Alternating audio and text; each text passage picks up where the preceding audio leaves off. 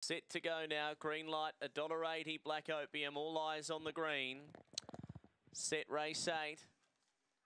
Racing, Black Opium began fast from the outside. She's looking to cross Dinah Romy, and Black Opium just gets a little drag at the first corner and going through Kraken Lightning. Takes the lead over Black Opium, who's under pressure, just bumping with lots of chatter, and Wallbanger getting into the clear. Then Fabriola's at Dinah Romy, Kinlock Moss, and the trailer zipping Sullivan off the back. The leader, Kraken Lightning, led by four Black Opium, then Wallbanger, lots of chatter, running on Fabriola's at the leader, Kraken Lightning, clear though.